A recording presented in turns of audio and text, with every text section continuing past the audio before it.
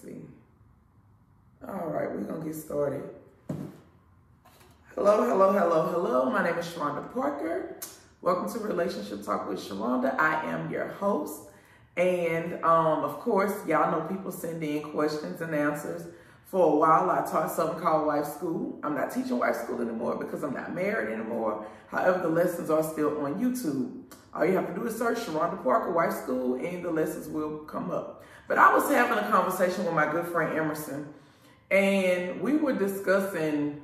He was like, "Well, maybe you shouldn't have like maybe it shouldn't be like a wife school, but maybe it should be some kind of life lessons, a woman's school or whatever. Because as a woman, you know, even though you're not a, a, much older woman, you've experienced enough to be able to teach certain things to other people, regardless if people don't agree with uh, your relationship dynamic or, or whatever it is that you're into. There are certain things that people can still learn and benefit, right? So I was having a conversation this morning. Well, first of all, there was a adult entertainer, and she basically said that the most important thing to me is honesty and transparency in a relationship. And I wanted to be so transparent to the point where you can bring this bitch home, you can fuck up, and I'll cook for y'all.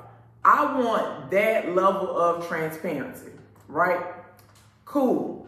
I'm like, I can feel that. But a lot of people couldn't get beyond the whole point of it being done in her face. And my thing is, no, I want a level of transparency to whereas it's okay to do it in my face because if I was your best friend, right? You and your best friend do everything together and you do the shit in your best friend face, but the person that you with, y'all not in y'all not in tuned enough to where y'all can be mature enough and do certain things and it's actually in each other's face. So beyond that, right? Beyond that, another thing came about and I said, that I just believe one of the things that we are missing in our relationships, whatever type of dynamic it is, it doesn't have to be marriage, it doesn't have to be serious commitment, it can literally be a friendship. One of the things that I think that we are missing is a lot of times we are we are afraid of pouring into people. And the only way we will pour into people is if we can possess, right? So this morning I was at IHOP and you know, the lady, she brought the um my orange juice and all this kind of stuff. I love that orange juice. And I'm I got the cup in my hand, and it was like literally a revelation. My buddy across from me, he got the cup in his hand. He pouring, but he possessing, right? So you got the cup and you pouring. And and of course, you know, you pouring, but you want to make sure you stop. This this this is how I see women pour. Women want to possess and hold on to the person. And I want to give just enough, right? I want to give just enough because the only reason I'm doing this because I want to possess it for myself. In other words, I don't want to motivate, inspire, encourage to, to help you to be the best version of yourself to not possess it. For the possibility of you to make a choice and go and do some other shit that you possibly want to do. Because I only want to pour if I can hold on to it, and I want to be able to give you just enough to hold on to it. See, I don't want to pour in such a way to where I'm pouring and pouring and pouring and pouring and pouring and pouring to the point that I literally allow you to overflow with some type of greatness. See, I'm pouring, but it's overflowing. I don't want to pour like this to the point where it's overflowing if I can't possess it. But see, that's where the control come in at because I'm the type of woman, I'm a pour, I'm a pour, I'm a pour until it fucking overflow. Because I want to see you be the best version of yourself. I want to see you be the best man that you could possibly be. Even if you ain't being the best man that you could possibly be for me. I want you to be the best man and I want you to make your choice. That way that if you with me and you dealing with me, it's because you made your choice to do it and not because I was holding on to it and possessing it in some type of way. See, when you possessing it, you holding on to it, you telling it what to do, where it can go. You got to come in by a certain time. You got a curfew. You you got a motherfucking bedtime. When I lay down, it's time for you lay down. My door closed at a certain time and all of this kind of stuff. You pouring, but you also possessing and holding on to it. And you're not giving it its freedom. We feel like we have ownership when it comes down to people. We don't own people. And what happens is y'all possess in such a way and you so controlling in such a way till you make people sneak. You make people go and do shit that they normally wouldn't do because you want to control, you want to hold on to it, you want to possess it, you want to do that. Whereas if there was an open line of honest, transparent communication, and I could really keep it 100 with you about my needs, my desires, my concerns, my vision, my goals, and all of this kind of stuff, then guess what? You can pour. It could be there. You ain't got to possess it. And I'm going to still make the choice and choose you every time. When I put that video up, a woman said, Sharonda, are you not concerned about the man that you're giving this freedom to falling in love with another woman? I ain't never mad about a man falling in love with a woman, even if she ain't me. I ain't never upset about that. Because at the end of the day, if you love me and you giving me what I need and my cup, you overflowing it and you not possessing it, then guess what? As long as I'm getting what I need, I don't necessarily care about what you're giving her. And if you got so much love that you can give it to me and her, then so be it. But I ain't never mad or intimidated about another woman getting loved upon. I'm not, ever. So a lot of y'all have concerns, especially with this poly shit, that, oh, what happened if he fall in love with her? So what if he falls in love with her? That's what poly is all about. It's about bonding. It's about loving. It's about building with multiple people. That's what it's about. So if that happens, then I don't necessarily see anything wrong with that because that's all that all of that comes along with the poly dynamic. Right? So I ain't never intimidated. So another thing was, another woman said, well, I don't necessarily know how you have the mindset to do it. Well, one, I'm not a jealous person. Two, I'm not intimidated by another woman. See, one thing about it, if I'm dealing with a man, I'm going to give him my A game. In other words, if I deal with you in any type of way, you're going to multiply. Anything you're working on going to multiply. Anything that I touch with you going to multiply in some type of way or another. It's going to multiply. My razzle dazzle going to come here, it's going to grow. My razzle dazzle going to come here, it's going to grow. When I get to dealing with you, you going to grow. Because you're going to feel so good about yourself. Because why? I'm pouring into a fucking overflow. Because that's what I do. When I wake up in the morning, guess what? Any nigga I'm dealing with, I'm going to encourage him. He going to get a good morning from Sharonda, and guess what? He going to get a kind word too. He gonna get that because I'm gonna give it to him before he go out into the world. Because what I know is the world ain't gonna give it to him. And I don't care if other women are giving him these kind words either. Because in my mind, the more the better. Because I want to deal with a man that is great in every aspect. So if it takes more than one woman to do it, then it takes more than one woman to do it. But I don't feel no type of way because what I know is when I come and I deal with you, I'm giving you 110%. Anything that I do for you, I'm doing it with the spirit of excellence. So guess what? If she come along, she better be she better be ready to work. She better be ready to work just as hard as I'm working. But the thing is, a lot of us know that we're not giving 110% when it come down to the people that we're dealing with. And we know that we leave all of these voids in place. And the thing is, we're not going to ever be everything to everybody. That's another thing that we have to understand. It's certain shit that you just not gonna want to do that they're gonna want to do, and that's okay. But again, if I'm giving 110%, I ain't necessarily worried about being replaced.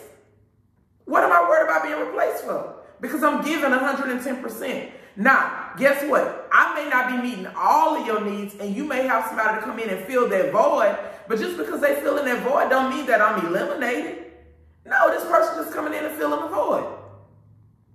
And a person like me, I'm smart. So I'm not gonna feel no type of way because you coming in and filling the void. Bitch, I'll try to network with you. I'm gonna try to see what the fuck we can do together. Because when you looking at poly, a lot of times y'all are so even this is really for people that's poly, I'm gonna be honest with you. A lot of times when people that's poly, y'all try to run parallel poly, right? And what happens is normally as a hinge, you overexhaust yourself trying to be here and trying to be there all at the same time for everybody. That's very hard.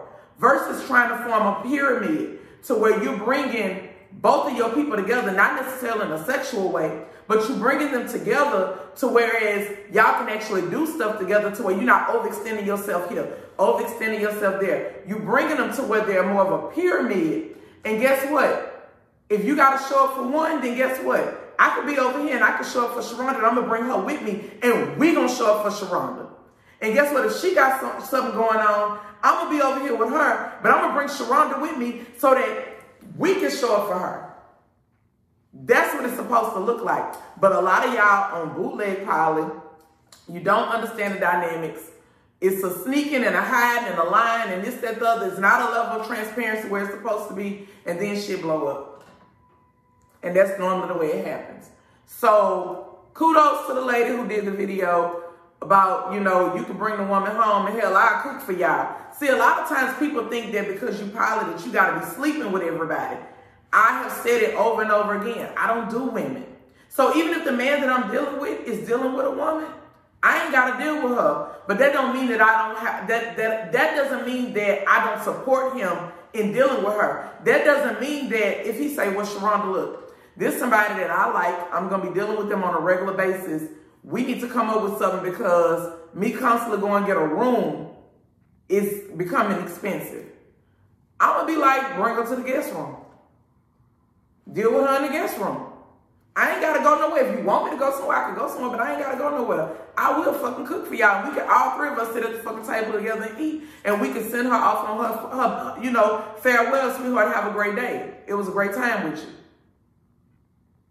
But that's a person with a real poly mindset. Everybody not there, and I understand it. But a lot of people try to play in this pond, and then you can't handle it. You you can't. People say, well, a dynamic and this person having sex with the person or whatever, and you you not into it or whatever. I can watch my man fuck somebody else and not be involved in it. I'm perfectly fine with that. Did you enjoy yourself? Did she do everything you wanted her to do? Do you need to go and look for, do you see anybody else you like in here? Everybody not there. So the thing is, if you're not there, don't come swim in this pond. If you're not there, don't come over here playing because you're going to end up getting hurt. Your feelings going to be hurt. You're going to be jealous. You're going to be insecure. You're going to be feeling like you're lacking in some type of way.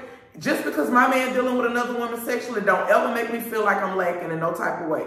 Because I can distinguish, like in other words, I can separate sex from love. There are people that walk this earth that I love dearly, but I don't have sex with them. And there are people or per, a person, whatever, that I will have sex with, but I may not necessarily love them.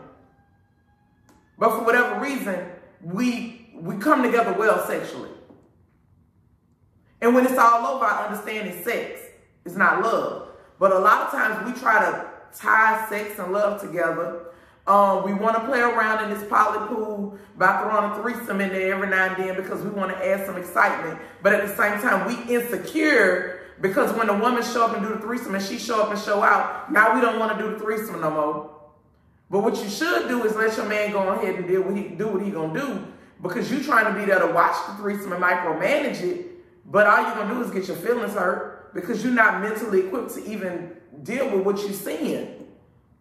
So in my opinion, if you're not real about this life, you'll do better doing a fucking free hall pass, letting him go do turn up the way he want to turn up with this person. Because a lot of times, another thing you don't understand is what a person do with you sexually, they may not necessarily do with another person sexually. And I've seen this firsthand, especially when it come down to positions and stuff like that. And I was like, okay, well, why? I noticed that we don't do certain positions. And then I was told, well, everything not for everybody. Okay, cool. But then I turn around and I see this position being done with somebody else, and it's like, well, damn. But at the end of the day, everything not for everybody, right? So the point that I'm making is, even when you're in these situations to where you're able to see what's going on, you got to know, do you really want to see what's going on? Can you really handle what's going on? Can I really handle being in the same house and he bringing somebody here? Well, I may not necessarily be the one that want to cook for them, in the morning. But I'm a person, I, I believe in hospitality. Okay? So if my man bring a woman home and bring her in the fucking guest room and he tearing it down with her in the fucking guest room, I'm gonna make sure she's straight, taken care of, and cared for under our watch. And I don't want to touch her. But under our watch, I'm gonna make sure she good, and I'm gonna make sure she's safe, and I'm gonna make sure she's taken care of. But everybody ain't on that level, so that's why I say a lot of y'all, y'all think you, y'all think you know me. You think you know me. You don't know me. You think you know me. You see the personality on the internet, but you don't know me.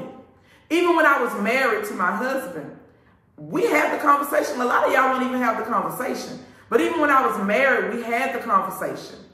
And I was like, you know, is this something that you want to explore? The, the answer was no. I don't want to explore it. I don't want to take the time to get to know nobody else.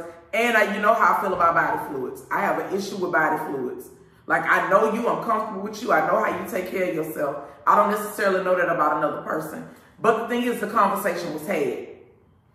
But a lot of times, like I said, I just experienced where women, they don't want to pour unless they able to hold on to it and possess it for themselves. In other words, the only way I'm going to put into a man and do all this and motivate him, encourage, inspire, all this kind of stuff is if he for me. But no, I feel like any man that come into my life, for whatever reason, whatever dynamic, whatever it is, I'm going to always pour. I'm going to always make sure that before you go out into the world, you know who you are. So don't be afraid to pour. And, and, and at that point, that ain't for poly people. That's for anybody. Um, you dealing with somebody, make them feel good. Encourage them to be the best version of themselves. And the thing is, when you encourage people to be the best version of themselves, they're going to show up and show out for you. But y'all so scared to pour and then they go run off and take it somewhere else. So what if they go run off and take it somewhere else? That they they wasn't your person. It just wasn't your person. You don't want. I don't ever want somebody being with me because I'm controlling the situation for them to be with me. I only want you to be with me is if you with me 100% and this is where you want to fucking be. So I'm going to always pour and not possess because you're going to do what you want to do. And even if you don't choose me, I'm going to still be a great person to you. Because I don't feel no type of way about not being your choice at all. I'm going to always show up and I'm going to always be a great person because that's just who I am.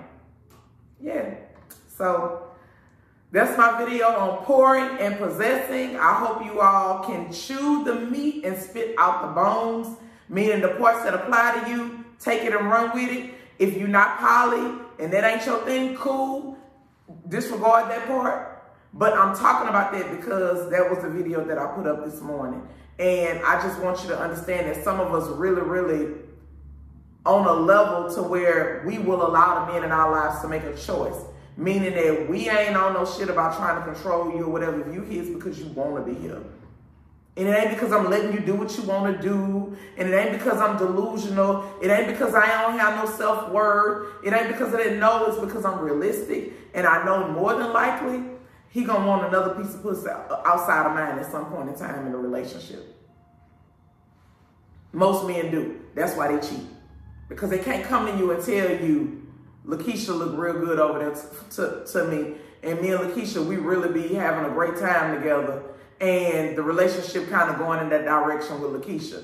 But what happens is a relationship going that direction with Lakeisha, then he sneak, he cheat, and then there's guilt, there's shame, and now y'all relationship all over the place and all over the. Nope, I desire a true, authentic, honest dynamic. That is what I desire. You know, everybody ain't on that level, and I get that. It ain't for everybody. All right. That's gonna wrap me up for today. Um, I'm here at the store. I'm working. Um, like, share, subscribe to YouTube. I already know this video gonna make a lot of money. Uh, my, all my poly videos on YouTube make a lot of money.